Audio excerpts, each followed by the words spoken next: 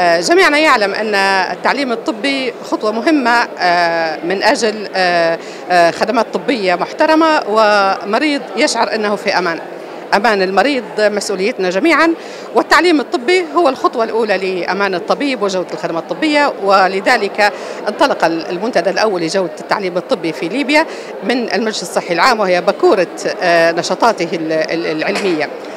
في هذا المنتدى نناقش كل ما له علاقة بالتعليم الطبي. نناقش البيئة التعليمية نناقش الطالب نناقش الأستاذ الذي يعلم نناقش وضع الجامعات نناقش كل ما له علاقة بالتعليم الطبي في, في ليبيا. الأمر ذو ومهم وما سينتج عن هذا المنتدى مهم جدا جدا جدا وأعتقد أن ستكون هناك الكثير من